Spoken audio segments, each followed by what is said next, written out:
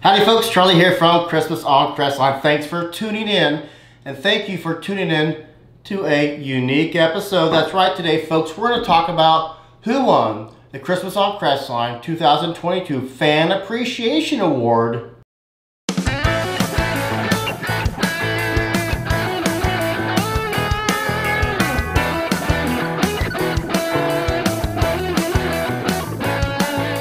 The 2022 Christmas on Crestline Fan Appreciation Award First Place Trophy.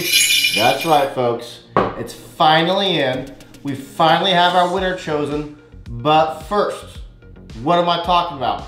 I say all the time, if you have a picture, if you do, if you decorate your home, send me, send me a picture, send me a video to christmasoncrestline at gmail.com. Well, everyone who sent me a submission, everyone who sent me a video, everyone who sent me a photo, well, 95% of folks, um, from January 1st, 2021 to December 31st, 2021, I'm gonna show you, put them into a video, and I'm gonna show you what they sent me. I want you to watch the video and give me your top three choices. Who are the three people you would have voted for as the winner? Put that down in the comments below. Uh, I showed the video to my Patreon supporters. They've already picked a winner. I already know the winner. But first, I want to give you an opportunity to see who you would have voted for. Tune in next Saturday. We're gonna do a live episode and I'm gonna announce the first, the second, and the third place winners for the 2022 Fan Appreciation Award for Christmas on Crestline.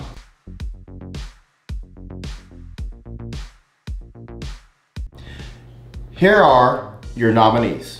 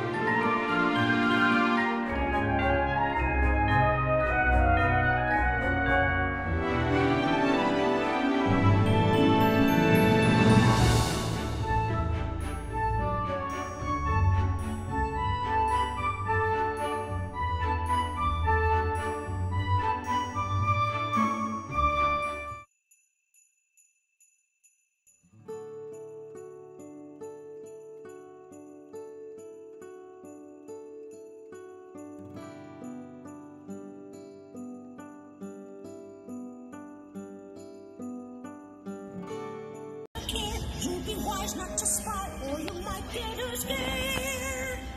Tonight, tonight is Halloween, the one night a year when I am clean. I seek your treats, your tasty sweets, the ones you collected while roaming the streets. I've sniffed them out.